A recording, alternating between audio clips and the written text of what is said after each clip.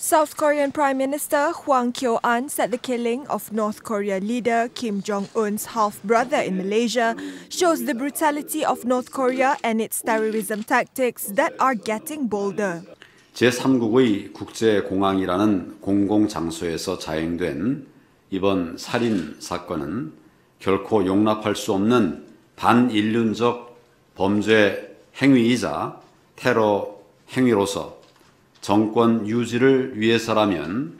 수단과 방법을 가리지 않는 북한 정권의 무모함과 잔악성을 여실히 보여준 것이라고 기해 주실 것을 다시 한번 당부드리고 군은 3월로 예정된 근본 한미연합 훈련을 통해서 북한의 도발에 대한 강력한 억제와 더불어